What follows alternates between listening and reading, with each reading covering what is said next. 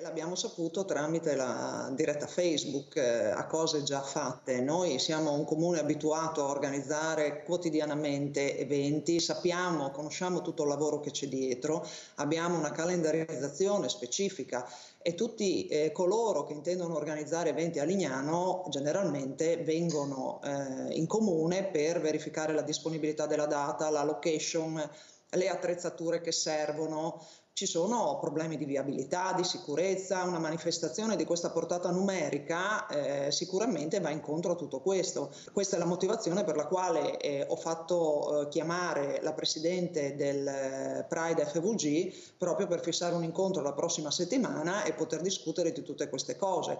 Loro hanno mandato lunedì mattina a protocollo una richiesta di occupazione suolo pubblico eh, senza sapere che l'area che chiedono è un'area in concessione e quindi neanche nella disponibilità del comune. Quindi ci sono parecchie cose da verificare. Poi il 31 di agosto è eh, una giornata da bollino rosso anche in termini viabilistici perché è il sabato di controesodo di tutti eh, i vacanzieri di agosto e quelli che arrivano a settembre, per cui insomma le cose da affrontare sono molte. Li abbiamo invitati qui in comune proprio per parlare di tutto questo. Ritiene plausibile questa data dunque? Devo verificarla perché, eh, ripeto, l'area che loro chiedono è in concessione, quindi andrà verificata anche con gli impegni che il concessionario ha già preso.